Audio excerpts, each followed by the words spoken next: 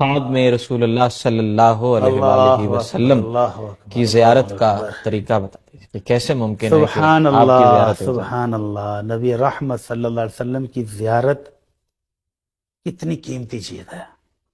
कौन खुश नसीब थे वो जिनको ये हर रोज हम्म। हासिल होती थी। और उनका मुकाम उनका शरफ और उनका मर्तबा भी तो देखें।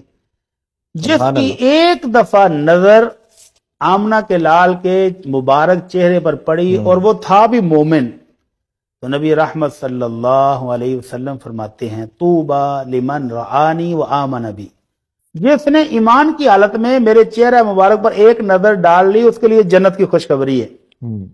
और फरमाया जो खाशी रखता रहा देख नहीं सका और ईमान ले आया है उसके लिए जन्नत की सात मरतबा खुशखबरी है। सुबह अल्लाह तो ये नबी रहमत सल्लल्लाहु अलैहि वसल्लम का दीदार आपकी जियारत बहुत खुश नसीबी और बहुत बुलंद मरतबे की दलील है। तो आपने फरमाया मन रानी फिल मनाम पक अन्नमा रानी फिल यकाबा। जो बंदा मुझे ख्वाब में देख ले वो ऐसे ही है जैसे उसने मुझे बिदारी की हालत में देखा है। हम्म। तो ये खुश नसीबों को हासिल होगी हर बंदे को तो हासिल नहीं होगी। जी। लेकिन हासिल कैसे होगी? तरीका क्या? ये तरीका हमने ढूंढना है। तरीका यह है कि दुनिया में किसी शख्स के साथ मोहब्बत हो बंदा कमला नहीं हो जाता पागल नहीं हो जाता उसकी मोहब्बत में।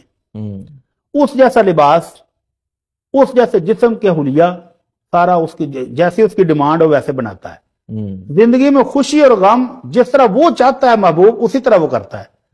तो अगर किसी शख्स को आमना के लाल के साथ सच्ची मोहब्बत है तो फिर अपना जीना मरना उठना बैठना सोना जागना खाना पीना हर चीज़ उनकी तालीमात अपने महबूब की तालीमत के मुताबिक बना ले तो इनशाला उसकी ख्वाहिश पूरी हो जाएगी।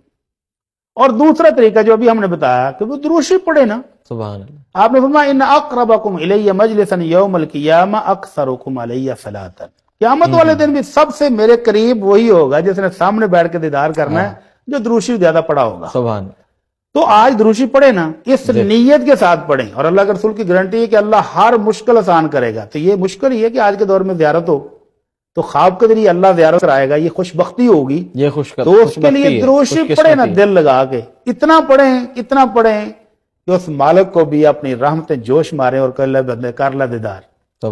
जन्नत में तो होगा इनशाला लेकिन दुनिया में को अगर करना चाहता है तो फिर कसरत से द्रोशी पढ़े आपकी सुन्नत से प्यार करे आपके दीन से प्यार दीन करे से। आपकी तालीमत से प्यार करे और उसके मुताबिक ज़िंदगी गुजारे तो इन उसको दयारत हासिल होगी। सवान